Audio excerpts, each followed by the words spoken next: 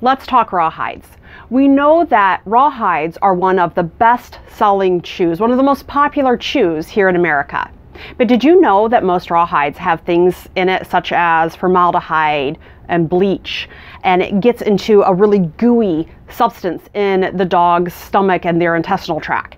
And this isn't good for them in so many different ways. So one of the number one things that you can do just to make sure that your your dog is chewing on a healthy product is to actually look at the ingredient labels and make sure that what you're giving them um, you're really happy with. So remember our guarantee here at Two Bostons that we don't have anything in our stores that we don't give our own pets at home. And I can tell you for sure that we have no hides in our pantry ready for our dogs at all times.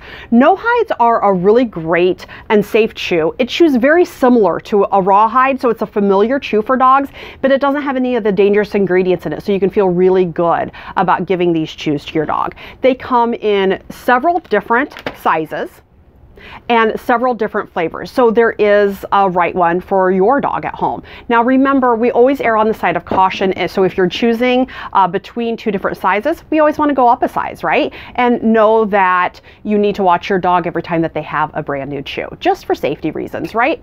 So remember, one of the best things you can do, go in that pantry, throw away all the raw hides that you have in, and come in and try a no hide for your own dog.